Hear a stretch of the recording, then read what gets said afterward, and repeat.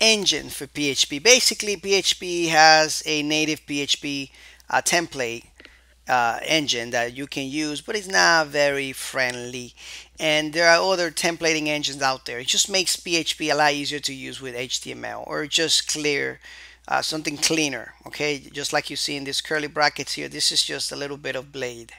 All right, so Blade, let's start by creating a master template with Blade. All right, let me show you how useful Blade can be. And um, as you can see here, we have created a contact page, a post page, and we have just too much HTML. All right, imagine if we wanted to have a different um, navigation for each of these pages or different content, we will have to go ahead and copy and paste this, uh, this stuff over and over again. What if we wanted to have the same navigation? All right, we will have to copy and paste the same navigation over and over again, right? That's what we use includes in PHP, right? we use the, the keyword include, the, the function include or require, and then we include certain things in our HTML from, and we break it down with header, footer, navigation, whatever, into different files, right? Well, we can do something a little bit cooler in Laravel, all right? So I'm gonna create a new PHP file with a directory. So a directory with a new PHP file. I'm gonna call this directory layouts forward slash and let's just name it app.php actually app.blade.php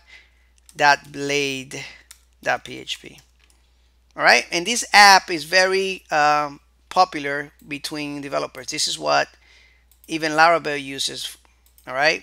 The name of that file app that would be probably the master page all right? Not probably that would be the master page. And what I'm gonna do is I'm gonna do a question mark and then tab to create a layout. Now what I want to do is in reality if you're using Bootstrap you will have something like this div dot code that is sits actually container and then enter okay so you will have a container and here you will have some type of content, right? So what you can do with Blade is this. You can put an at symbol and, and use this function called yield. And then here you can put, let's say, content. All right. And here you could do something like this. Yield. And yield is doing exactly what is actually saying yielding all right? We could do the footer down here and I'll show you in a minute. So let's go to let's say the contact page. All right? So this is the contact page right here let's just take all this HTML out. And I'm gonna say extends on top. Here I'm gonna use another function. And I'm gonna extend the layouts that app. And that's it. I don't have to type in the blade in the .php all right? I don't have to type that in. Now this is going to be extending. It's going to be including basically this all this template right here. Everything. All right? So let's go back here and now, in order for us to get this here, whatever, whatever is in between this container, I'll show you in a minute, we have to use another function called section and put the name that we put in this yield functionality right here, which is content in that section here. So we can say content. Now we have to close it, all right? We can say we can say something like end section or we can even say stop if we wanted to like this. All right? Now this is the contact page right? So I could say something like contact page here. All right? Now let's copy this real quick and let's take it to that post page and paste it in there and do post paging here right so now if we visit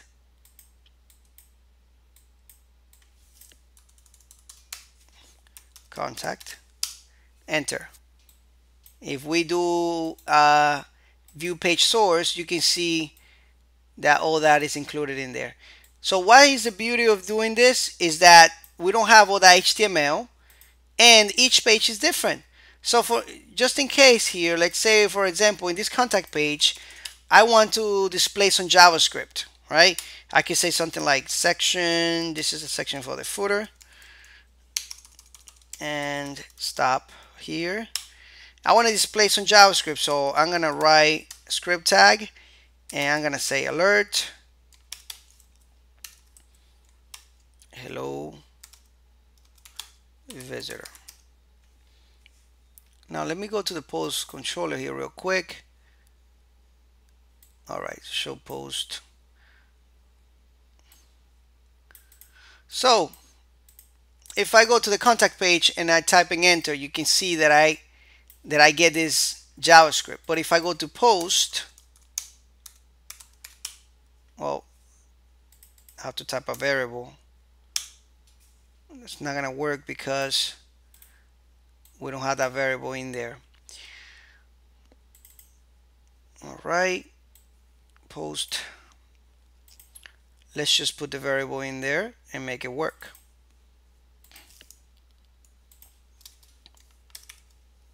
ID then we do the name and then we do the password right make sure that you put the dollar symbols again uh, Blade is not going to do that for us all right? So we got to let Blade know that they are variables all right? So now if we go back to it we should be able to see that all right? Post that and this and that. There we go as you can see there all right? So now you can see that we can only use what we need in certain pages. So if we need an alert in contact page, we have it. If we need variables in the other page, we don't have to include it. All right. So this is why Blade is so useful. In the next lecture, I'm going to show you some more examples with Blade that you are going to love. I can guarantee you that. And you can do create multiple layouts. If you want a layout for admin, go ahead and do it. All right. Anyway, thank you so much, and I'll see you in the next lecture. Keep having some more some fun. All right, guys.